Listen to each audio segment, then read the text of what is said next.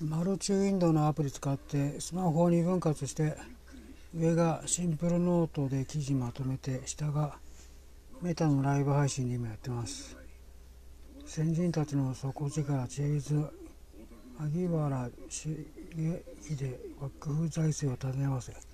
江戸時代の財務官僚だった萩原勘定奉行は小判の金の銀含有量を3分の2にして2枚の金貨を3枚に増やす錬金術を使って幕府財政を好転させ元禄文化という好景気を作り出しました。しかし荒井広公明の学者が関与に追われ権力の座から追放されてしまいました。荒井氏白石にとっては金庫をインチキして増やしたペテン師に見えたわけです。でも近代の研究では金本位制を管理通貨制度に切り替えた天才ではなかったのか。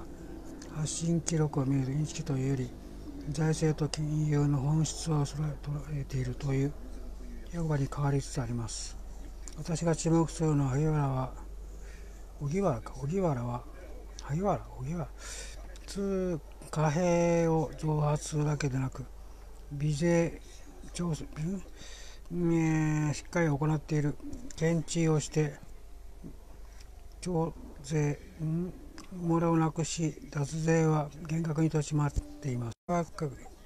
価値を保つためには超運調運米税大事だということも荻原萩原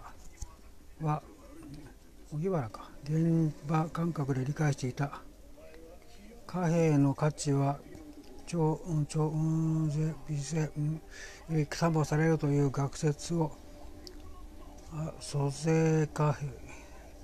幣論と言いますが時代を200年以上も先取りしています。なおなお萩原荻原追放の後は荒井白石が緊縮財政という真逆の政策を行い日本をデレ不況に人口増加を祖母させるという悪性をやらかしてしまいました。白荒い白石の悪性による大不況は暗号の地にも及び万国騒動まで起きています。